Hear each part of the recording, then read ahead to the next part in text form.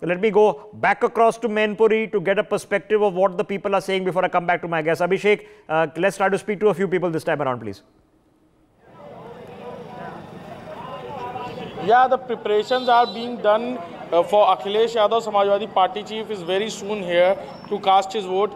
Uh, meanwhile, you can see the family members, cousins, niece, nephews of Akhilesh Yadav and the Saifai family are, are coming for casting their votes and uh, you can see the alert is being done for Akhilesh Yadav, Samajwadi Party chief. Any moment he can come here to cast his vote. The circle is being made a periphery by police people. Yeah. So that he can come first cast his vote. Some of the security people who uh, are with Akhilesh Yadav a moment before they came to the media persons and were asking them to please come forward so that he should first cast his vote and then he will say something to the media. Okay. For more such videos, subscribe to the NewsX YouTube channel, hit the bell icon.